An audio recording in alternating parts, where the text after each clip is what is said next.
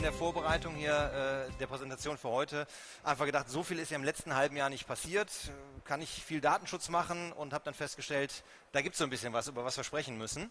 Ähm, das erste, was ich mitgebracht habe, ist äh, unter dem Motto hier Menschen, Tiere, Sensationen, alles das, was in der Entscheidung so im letzten halben Jahr ergangen ist, Bereich E-Commerce, ähm, die Aufreger, die wir hatten. Ich fange mal einfach mit folgender Entscheidung an, die seit einigen Tagen durch die Runde geistert. Das ist eine Entscheidung des Bundesgerichtshofes, die sich mit einer Kundenzufriedenheitsumfrage beschäftigt. Hintergründe dazu erläutere ich ähm, jetzt gerne sofort. Ähm, es geht um die Frage, wie kommen Sie denn eigentlich an den ganzen Plattformen auf ihre Bewertungen. Wie können Sie erreichen, dass die Kunden sie möglichst positiv bewerten? Wie geht man damit um? Der klassische Paketbeileger, den kann ich natürlich machen und sagen, bitte bewertet mich hier positiv und dadurch versuchen, irgendwie das entsprechende Ranking zu bekommen. Was aber natürlich genauso viele versuchen, ist, das Ganze per E-Mail zu machen. Einfach mit der Rechnung oder in sonstiger Form zu sagen, liebe Leute, es wäre schön, wenn ich denn irgendwie eine 5-Sterne-Bewertung bekommen könnte. Auf Amazon, auf Ebay. Und die Sache ist tatsächlich zum Bundesgerichtshof gegangen. Ähm, es war die Konstellation, dass derjenige, der diese Mail mit der Rechnung bekommen hat, sich beschwert hat. Da hat man als allererstes irgendwie einen, weiß ich nicht, äh, rechtsschutzversicherten Oberstudienrat äh, vor Augen, der sagt, den zeige ich jetzt mal richtig und gebe das Ganze jetzt zu Gericht und lasse das klären. Es war also nicht die klassische wettbewerbsrechtliche Situation, wo der eine äh, Mitbewerber dem anderen solche E-Mail-Aktionen verbieten lassen wollte, sondern wirklich ein Kunde, der sich beschwert hat, weil er, und das habe ich in der zweiten Folie dabei, mit folgendem folgendem Text belästigt gefühlt hat. Es ging um eine Rechnungsversendung auf dem Amazon Marketplace und um die entsprechende Textpassage, die Sie hier sehen, in einer entsprechenden E-Mail, mit der das Ganze versendet worden ist. Vielen Dank für Interesse am Unternehmen. Wir sind darauf angewiesen, hier äh, die entsprechenden äh, Bewertungen zu bekommen. Wenn Sie möchten, hinterlassen Sie doch eine solche Bewertung in unserem Profil. Der Bundesgerichtshof war da eiskalt und glasklar und hat gesagt, so nicht, das dürfen Sie nicht. Und das Problem, was Sie einfach an der Konstellation haben, wenn der eine Kunde kommt und sich bei Ihnen beschwert, ja gut, den kriegen Sie vielleicht irgendwo ruhig gestellt, aber wenn so eine Bewertungsanfrage unzulässiger E-Mail-Spam ist, kann nicht nur der Kunde kommen, dann kommt morgen der Mitbewerber, dann kommt die Wettbewerbszentrale, dann kommt sonst irgendjemand und verbietet ihnen das Versenden von Werbe-E-Mails jeglicher Couleur und für dauerhaft. Also da steckt richtig Risiko drin, ähm, wenn man sowas in irgendeiner Form äh, umsetzen will. Was der BGH dazu gesagt hat, gehen wir nochmal eine Folie zurück, war nämlich an der Stelle, wenn ich hier eine solche Mail habe und wenn es an der Stelle auch nur die Mail ist, mit der die Rechnung übersendet wird, wenn Werbung drin ist und die Nachfrage nach Bewertungen ist Werbung, dann ist es unzulässig. Gut, wie kann ich damit umgehen? Ich kann versuchen, ein Opt-in irgendwo zu bekommen. Wie kriege ich ein Opt-in vom Kunden auf Amazon? Keine Chance, das zu kriegen. Müsste es irgendwo anhaken, ähm, geht nicht, kann ich in den Checkout-Prozess nicht integrieren, kann ich maximal in meinem eigenen Shop machen. Also komme ich, komm ich da nicht vernünftig hin.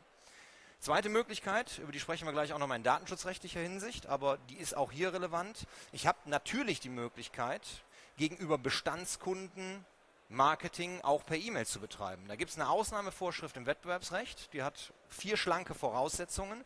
Wenn ich von meinem Kunden eine Mailadresse bekommen habe beim Kauf einer Ware und ich gleichzeitig mit dieser Mailadresse Werbung betreiben will für ähnliche Waren, dann kann ich das tun, solange ich den Kunden bei Erhebung der Mailadresse darauf hingewiesen habe, dass das so ist und ihm jedes Mal sage, kannst gerne hier ein Opt-out an der Stelle äh, abgeben und sagen, will ich nicht mehr, also der klassische Abmeldebutton im Newsletter. Rechtlich zulässig, auf Plattformen faktisch nicht umsetzbar. Denn wie will ich an der Stelle dem Kunden deutlich genug machen, dass ich seine E-Mail-Adresse verwenden werde für zukünftige Werbung? Kann ich versuchen, irgendwo in die Bullet Points mit reinzuschreiben. Ich denke, Amazon wird das relativ schnell rauslöschen und vor allen Dingen bei den Artikeln, wo ich mich an Markenware dranhänge, wo noch ganz viele andere Verkäufer drin sind, kriege ich solche Änderungen wahrscheinlich gar nicht erst rein. Schreibe ich es in meine Datenschutzerklärung, liest es keiner, ist nicht mehr deutlich genug. Auf Plattformen ist damit diese Art der Werbung tot funktioniert nicht mehr. Also der Versuch in irgendeiner Form da Werbung unterzukriegen, dürfte damit nicht erfolgreich sein, egal wie ich es drehe und egal wie ich es wende.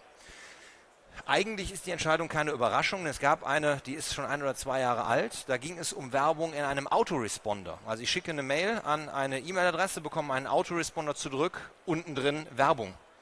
Diese Werbung war schon unzulässig. Ich glaube, da hatte auch wieder ein Berufsquerulant ein Rechtsanwalt geklagt äh, und versucht, das Ganze äh, äh wegzubekommen. Hat funktioniert. BGH hat gesagt, das ist Werbung.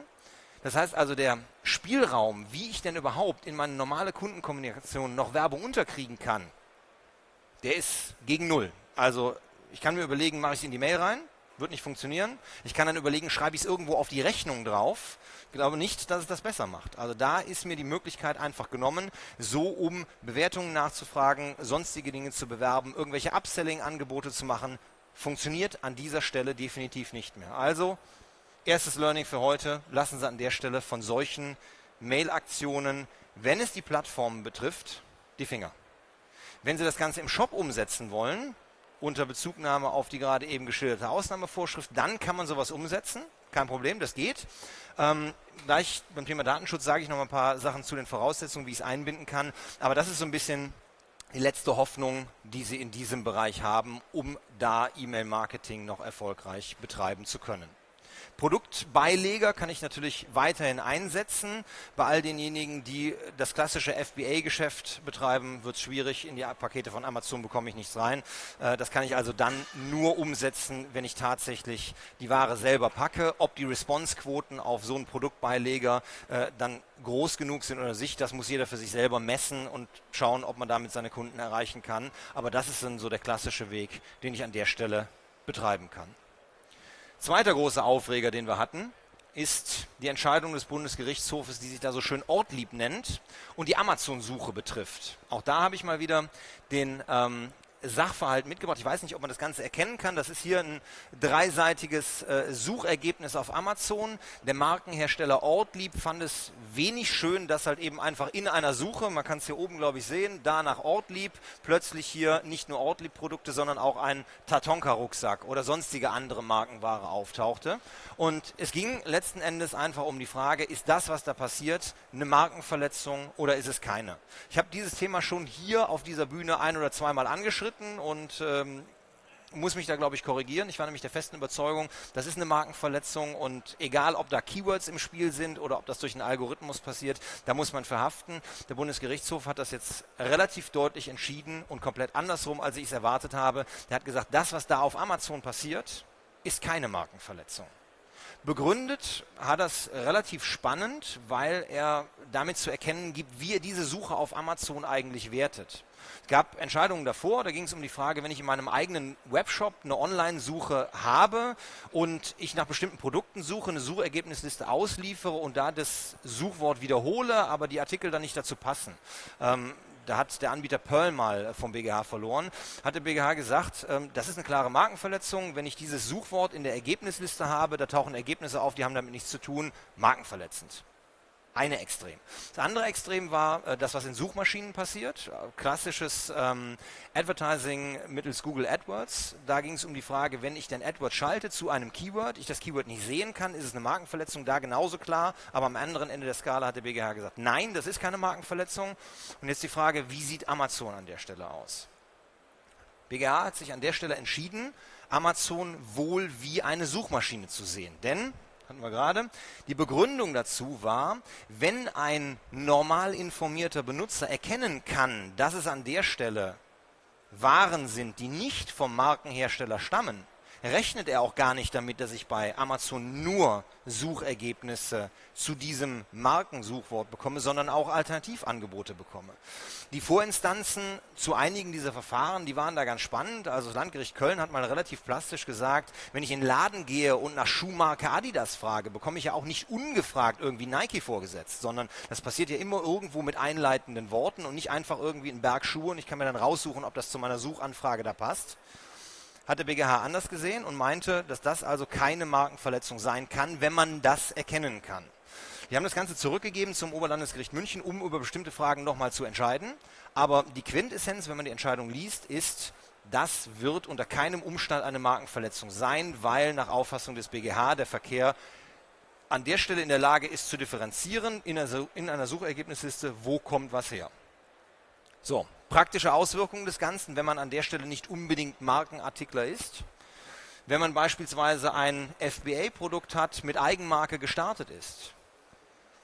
kann an der Stelle eigentlich keinen Unterschied mehr machen, ob meine zehn Konkurrenten, die das gleiche Segment bedienen wollen, meine Marke als Keyword hinterlegen oder nicht.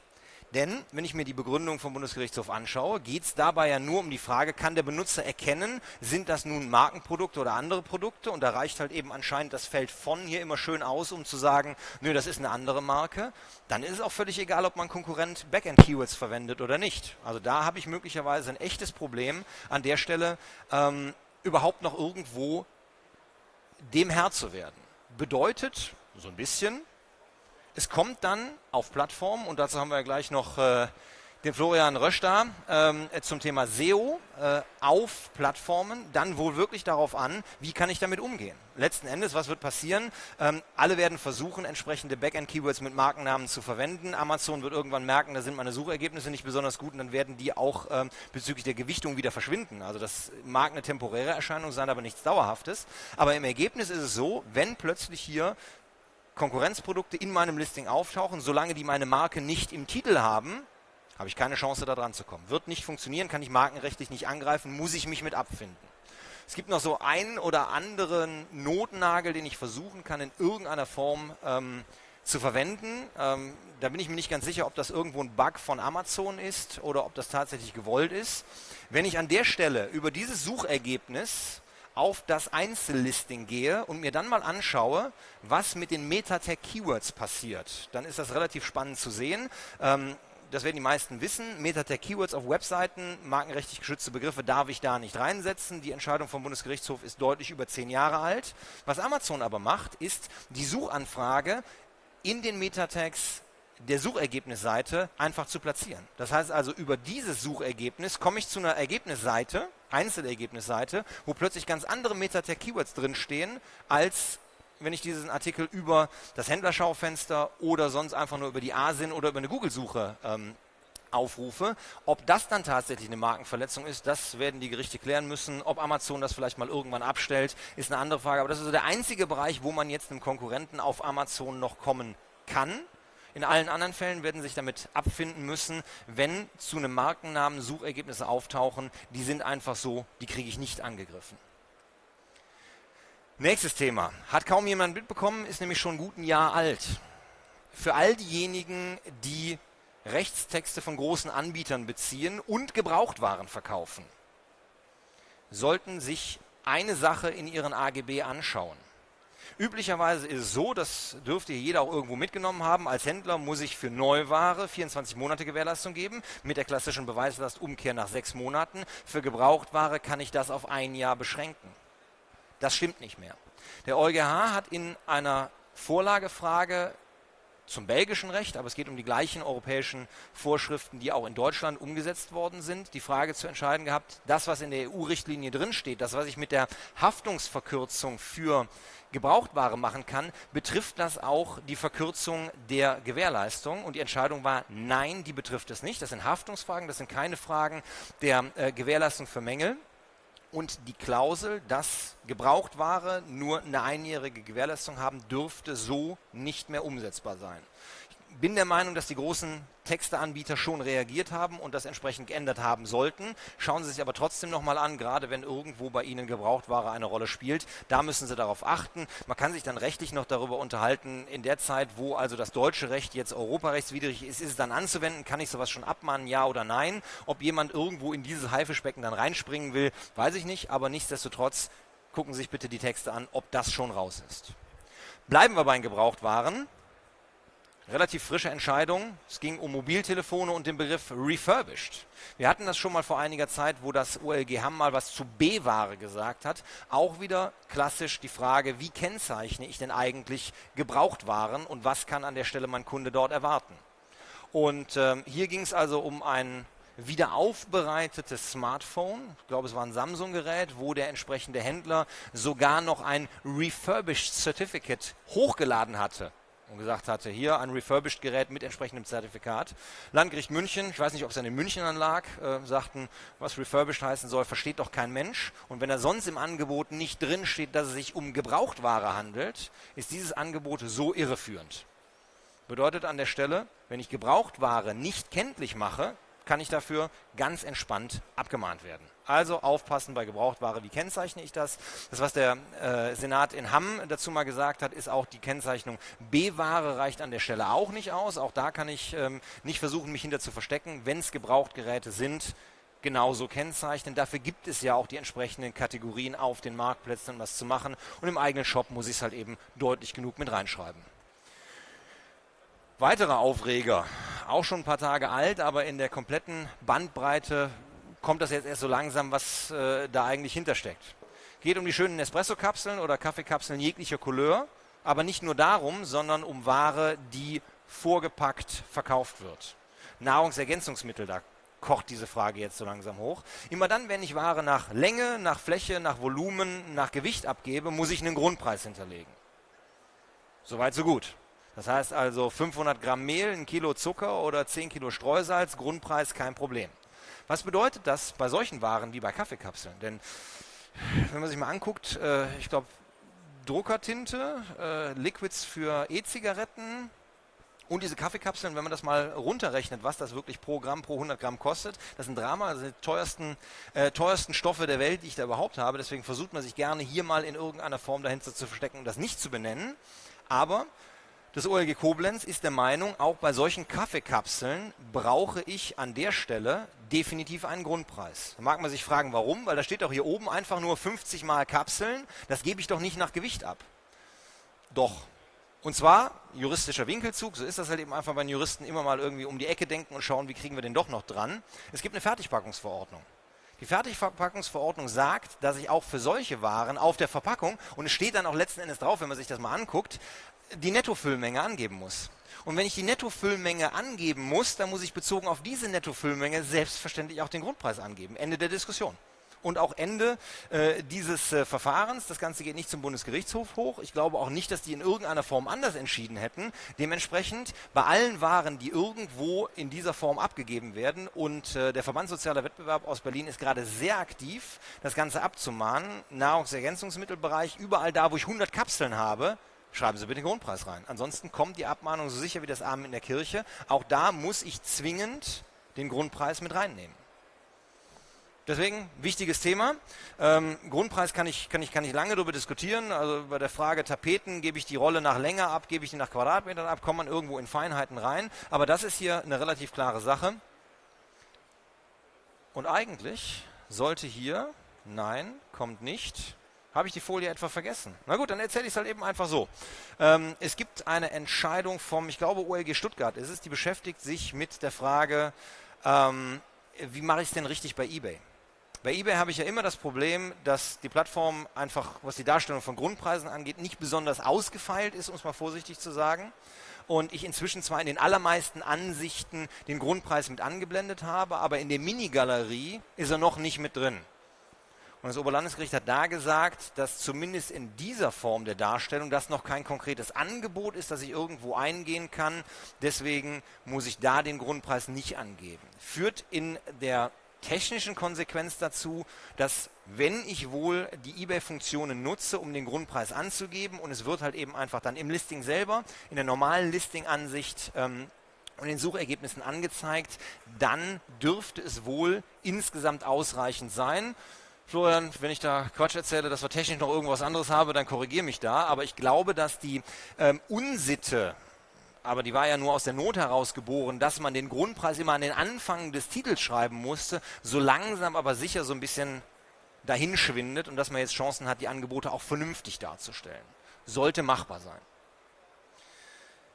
So, ein weiteres Thema, was Amazon betrifft, was Plattformen insgesamt betrifft, was das schöne Spiel über Bande betrifft. Wenn ich versuche, Angebote von Plattformen runterzubekommen und ich keine Lust habe, den Mitbewerber selber abzumahnen oder ich keine Chance habe, den abzumahnen, weil es beispielsweise irgendwie ein Anbieter aus Fernost ist. Dann habe ich die Möglichkeit, auf Plattformen, entweder bei eBay über das Veri-Programm oder hier über Amazon, das entsprechende Infringement-Formular Angebote löschen zu lassen.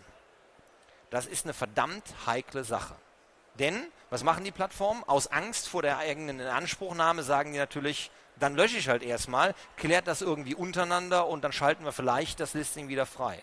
Das führt effektiv dazu, dass ich meinen Mitbewerber mit so einer zumindest behaupteten Mitteilung ganz entspannt absägen kann und der muss an der Stelle schauen, wie kriege ich mein Listing wieder flott. Die dazugrunde liegende ähm, Konstellation, die äh, das Landgericht Hamburg da entschieden hat, war eine Designsache. Also jemand hat ein Design in der EU eintragen lassen und das Schöne beim Design ist halt, das bekomme ich sofort eingetragen, weil es ein ungeprüftes Schutzrecht ist. Guckt sich keiner beim Amt an, die gucken sich nur die Bilder an, hinterlegen die in der Datenbank, fertig habe ich mein Design. Ob dieses Design wirksam ist oder nicht, entscheidet sich erst im Verletzungsverfahren. So ein Design kann ich perfekt dazu nutzen, um bei Amazon eine Kategorie aufzuräumen. Denn das Einzige, was Amazon macht, ist zu schauen, von wann ist das Design und von wann ist dieses Angebot. Und wenn das Design älter ist als das Listing, dann löschen die erstmal. Führte dazu, dass im Bereich der Fidget Spinner, kennt ihr noch jemand, ähm, reihenweise Angebote von Chinesen gelöscht worden sind, also auf Bestreben von Chinesen gelöscht worden sind, deutsche Seller, die sich nicht wehren konnten, weil wir irgendwelche unwirksamen Designeintragungen hatten die aber trotzdem zur Löschung geführt haben. Mit Amazon darüber zu verhandeln, keine Chance, funktioniert nicht. Und das hat jetzt Landgericht Hamburg mal als ein Fall der sogenannten Abnehmerverwarnungen gesehen. Die habe ich eigentlich klassisch immer dann, wenn ich in der Lieferkette nicht den Hersteller abmahne, sondern alle Abnehmer. Da kann ich mich wettbewerbswidrig verhalten, wenn ich eine solche Abmahnung ausspreche.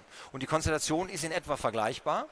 Wenn ich also an Amazon als meinen Vertriebskanal rangehe und sage, lösch die Angebote mal, weil die rechtsverletzend sind und das war unbegründet, dann fange ich mir an der Stelle hier dann genauso die entsprechende Abmahnung und Unterlassungsverfügung, dass ich solche Mahnungen, Warnungen oder Sperren nicht mehr aussprechen darf.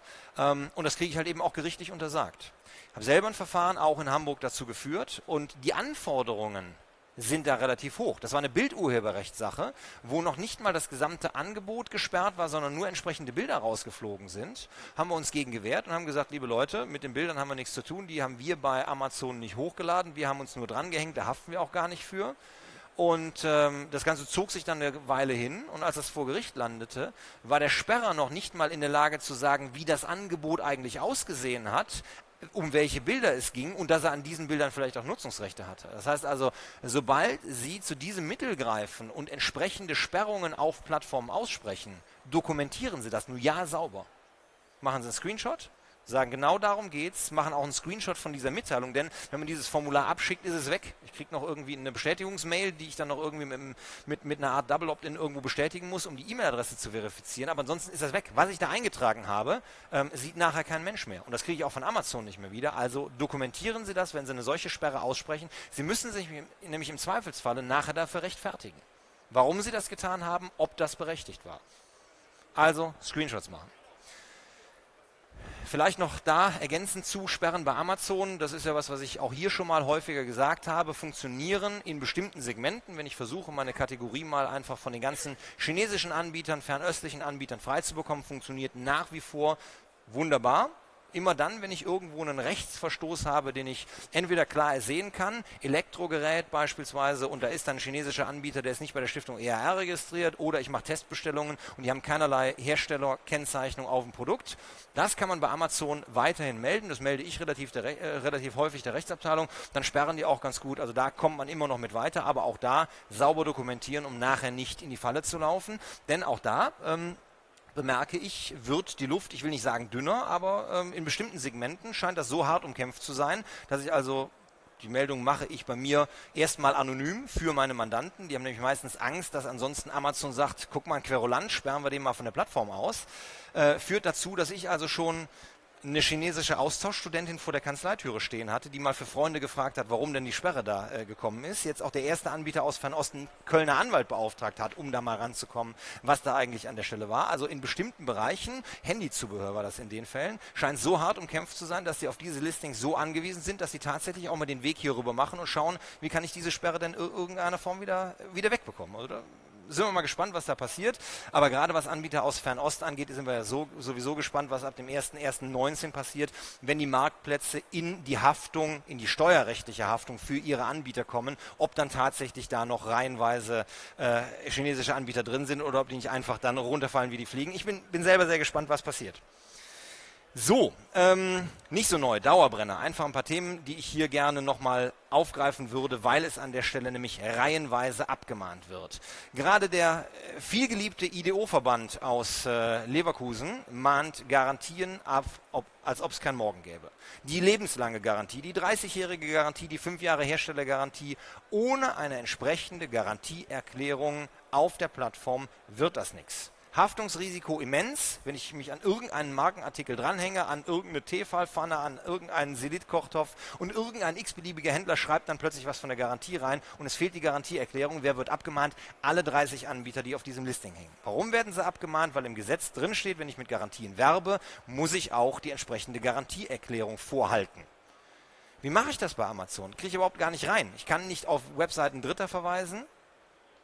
Links nach draußen sind nicht erlaubt sonstige Möglichkeiten, das unterzubringen, wenn der Markenhersteller drei Seiten Garantieerklärung drin hat. Habe ich auch nicht. Das heißt also, ich hänge mit Garantien immer am Fliegenfänger.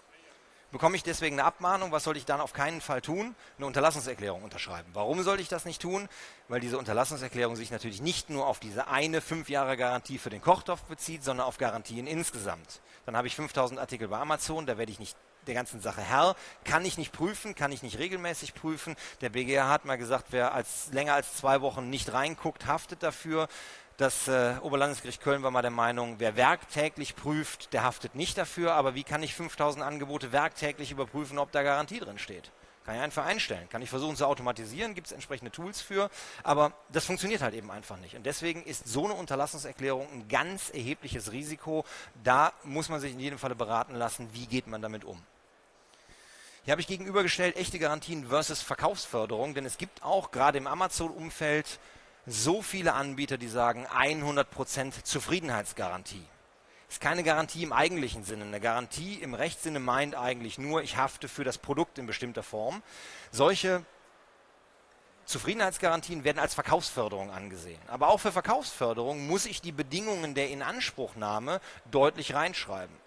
Und wenn ich dann so Sätze lese wie 100% Zufriedenheitsgarantie, wenn Sie mit dem Artikel nicht zufrieden sein sollten, melden Sie sich, wir finden bestimmt eine Lösung. Das ist keine ausreichende Darstellung der Bedingungen der Inanspruchnahme. Ich muss sagen, wie lange kann sich jemand melden, wohin muss er sich melden, was mache ich dann und welche Rechte hat der Kunde. Und ich muss darauf hinweisen, dass an der Stelle die normalen Gewährleistungsrechte nicht eingeschränkt werden. Dementsprechend auch da aufpassen, wenn ich mit solchen Garantien, auch wenn es keine echten Garantien sind, werbe. Grundpreisangabe. Ach, da haben wir doch die Entscheidung, die ich gerade eben schon ähm, meinte. Ähm, OLG Stuttgart bei der eBay Mini Galerie. Ähm, wo es anzugeben ist, wie es anzugeben ist, das hatten wir gerade.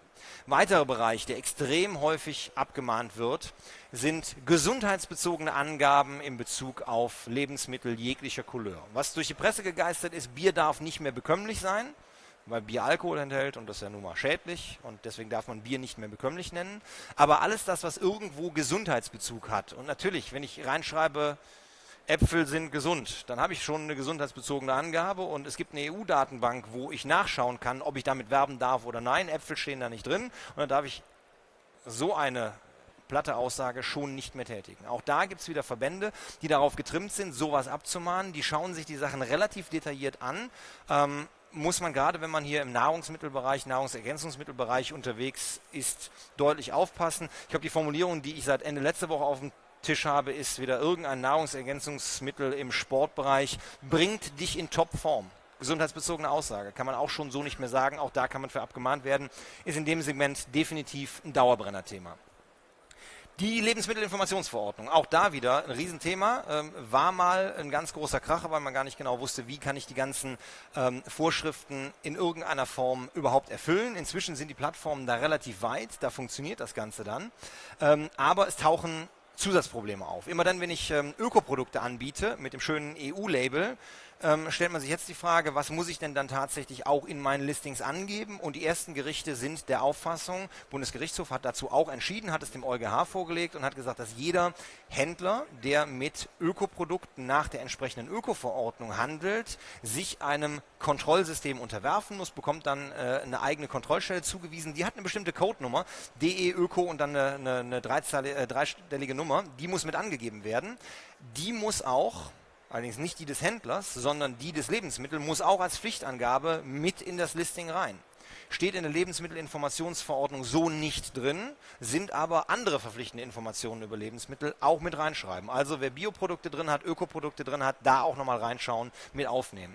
Nahrungsergänzungsmittelverordnung, das ist wie gesagt ein Thema, was gerade viel abgemahnt wird. Auch da gibt es entsprechende Warnhinweise für Nahrungsergänzungsmittel außer der Reichweite von Kindern aufbewahren, ersetzen nicht eine, eine, eine, eine gesunde Ernährung. All die Warnhinweise, die da drin stehen, müssen ins Listing mit rein.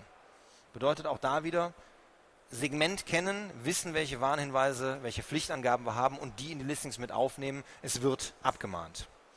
Ja, äh, immer wieder ein Dauerbrenner, unverbindliche Preisempfehlung, Streichpreise, das habe ich vorgestern noch wieder abgemahnt. Amazon-Artikel im Angebot von Amazon seit dem Ende August, seitdem konstant mit einem Streichpreis drin. Warum geht das nicht? BGH hat doch entschieden, dass der Streichpreis bei Amazon geht. Ja, warum geht der? Weil man davon ausgeht, wenn ich einen gestrichenen Preis sehe, ist der gestrichene Preis, den ich vorher mal gefordert habe. Wenn ich den Artikel aber erst seit einer Woche drin habe, wann will ich den denn wo bitte gefordert haben? Funktioniert nicht. Das heißt also, als Einführungsangebot auf Amazon kann ich den Streichpreis nicht nehmen. Und das kann ich relativ leicht tracken. Deswegen gerade beim Einsatz von Streichpreisen vorsichtig sein. Insbesondere deswegen vorsichtig sein, weil nämlich fünf Minuten. Dann kann ich mir den Datenschutzteil eigentlich sparen. Na gut, dann machen wir das hier noch zu Ende. Ähm, den Streichpreis kann ich halt eben so nicht einsetzen, ähm, weil ich selber als Händler in der Beweislast hänge. Ich hänge als Händler dafür in der Beweislast, dass ich den gestrichenen Preis für eine angemessen lange Zeit überhaupt erstmal gefordert habe. Muss ich also selber, bitte. Ja, es ist ein unbestimmter Rechtsbegriff. Woher soll ich wissen, was angemessen ist? Die äh, Bandbreite bei den Gerichten geht von zwei Wochen bis drei Monaten, äh, muss man im Einzelfall sich anschauen. Also das, das, das kann man äh, so nicht machen und auf gar keinen Fall, Preisschaukel ist das Stichwort, immer schauen, dass man nachts die Preise hochsetzt, wo eh keiner kauft und tagsüber niedrige Preise hat. Auch das funktioniert nicht. Also da gibt es genügend Verfahren, wo man sowas dann schön tracken kann und sehen kann, wo die äh, Spitzen immer sind. Geht nicht. Also Streichpreise weiterhin ein Thema, kann getrackt werden, wird abgemahnt, ist halt eben einfach was, wo man immer aufpassen muss, dass man das nicht auch noch zwischen die Beine gehauen kriegt. Ähm, UVP bei Eigenmarken, immer dann, wenn ich eine Eigenmarke habe und mit einer UVP werbe, ich bin nicht so hundertprozentig im Bilde, wie lange Amazon die UVP-Darstellung überhaupt noch äh, mitmachen wird. Ich glaube, die rücken davon weiter und weiter ab. Aber man sollte sich Folgendes vor Augen führen. Die unverbindliche Preisempfehlung ist die unverbindliche Preisempfehlung des Herstellers. Wenn ich eine Eigenmarke habe, bin ich selber Hersteller. Wenn ich meine UVP streiche, mache ich sie damit ungültig. Wie kann ich dann noch mit einer UVP werben? Funktioniert so nicht. Also auch da vorsichtig sein, Eigenmarkeartikeln UVP gestrichen, klappt so nicht. So, ähm, dann machen wir einfach noch zwei Dinge, die als gesetzliche Neuerungen hier anstehen bzw. anstanden. Das eine ist eine Neuerung im Elektrogesetz. Na, doch, da ist er. Elektrogesetz. Und zwar, ähm, vorher gab es bestimmte Kategorien, denen Elektrogeräte unterfielen. Und ähm, das hat sich jetzt äh, zum 15. August geändert. Es gibt eine neue Definition des Elektrogerätes und Elektrogerät ist nach dieser Definition alles das, was irgendwo mit Strom betrieben wird. Also vorher konnte man sich für bestimmte Bereiche noch rausreden und sagen, nein, dafür muss ich keine durchgestrichene Mülltonne drauf haben, nein, dafür muss ich mich nicht bei der Stiftung ERR registrieren. Inzwischen alles das, was Batterien oder einen Stecker hat, braucht eine entsprechende Registrierung, braucht eine entsprechende Kennzeichnung. Ähm, kann abgemahnt werden. Warum kann das abgemahnt werden? Eigentlich sagt man doch an der Stelle Elektrogesetz, worum geht es da? Äh, Umweltschutz. Umweltschutz ist eigentlich keine Marktverhaltensregel. Warum sollen denn da Mitbewerber abmahnen können? Auch wieder ein juristischer Winkelzug die Kosten der Entsorgung von Elektrogeräten werden auf die Gesamtheit der Hersteller, die sich registriert haben, umgelegt. Das heißt also auch, die Kosten der Hersteller, die sich nicht registriert haben, werden auf die, die ordnungsgemäß registriert sind, umgelegt. Also habe ich eine Benachteiligung der Händler, die registriert sind, wenn sich jemand nicht hat registrieren lassen. Also kann ich sowas auch tatsächlich abmahnen. Es wird abgemahnt. Ich mahne sowas selber ab. Es funktioniert wunderbar, wenn ich sowas bei Amazon melde. Vorsichtig sein bei allem, was einen Stecker hat, bei allem, was eine Batterie hat. Und es kann zum Beispiel schon die Armbanduhr sein die eine Batterie hat, die dann entsprechend so eine Kennzeichnung braucht, so eine Registrierung braucht. Ähm, die Dauerbrenner-Themen waren dort, gerade was die Kennzeichnung angeht. Es muss eine dauerhafte Kennzeichnung sein. Ich brauche die durchgestrichene Mülltonne drauf. Immer dann, wenn ich irgendwo Strom dabei habe, brauche ich auch noch ähm, eine CE-Kennzeichnung da drauf. Da wird es am dritten Tag, ich glaube dritten Tag von Product IP, gerade was, was Produktkonformität angeht, noch einiges zu geben. Ähm, was ich alles mit drauf haben muss, wie ich kennzeichnen muss. Ähm, Und da wird halt eben einfach viel abgemahnt und die neue Definition erweitert den Anwendungsbereich also ganz immens. So, letztes Thema, äh, Verpackungsgesetz. Ähm, Habe ich versucht, mich mit zu beschäftigen, bin ich so semi-weit gekommen, weil ich da halt eben auch äh, feststelle, die Gesetzgebung ist da nicht besonders gut und die neuen Ansätze, die man dort gefunden hat, ähm, finde ich auch so nicht in Ordnung. Vor allem ergibt sich eigentlich aus dem Gesetzestext auch gar nicht so richtig, was ich denn machen soll. Problem ist, Verpackungen müssen auch jetzt schon nach der Verpackungsverordnung entweder zurückgenommen werden, was ich nicht selber machen darf und dementsprechend muss ich mich einem Entsorgungssystem anschließen. Dafür gibt es genügend Anbieter, die sowas ähm, tatsächlich im Portfolio haben, dass ich meine Entsorgungskosten dort bezahlen kann. Und ich bekomme halt eben an der Stelle keine vorlizenzierten Verpackungen. Ich muss davon ausgehen, dass der Hersteller die Verkaufsverpackung, also alles das, wo das Produkt selber drin ist, schon vorlizenziert hat. Da muss ich mich im Zweifelsfalle ähm, auch darüber informieren, ob dem so ist. Aber das, was ich beim Verpacken der Ware selber mache, Pappkarton auf, Ware rein, Füllmaterial rein.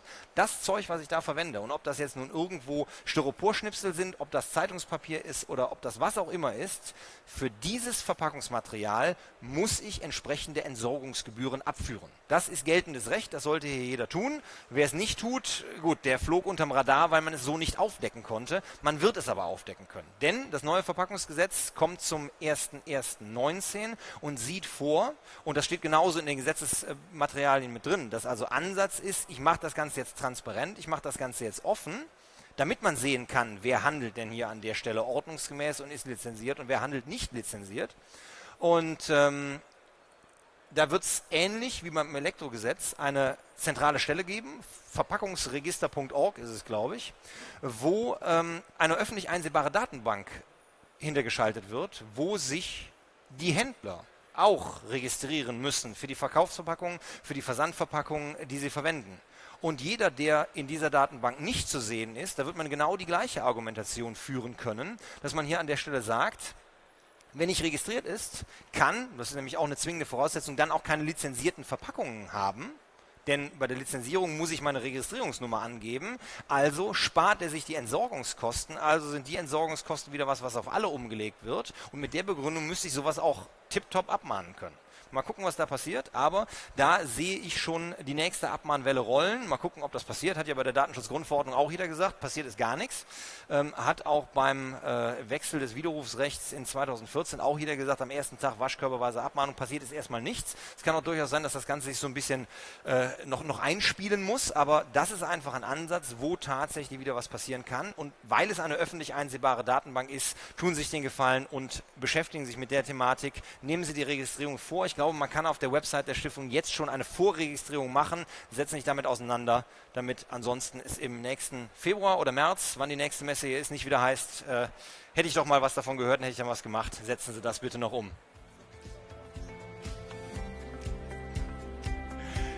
So, Stefan, damit wäre ich dann durch.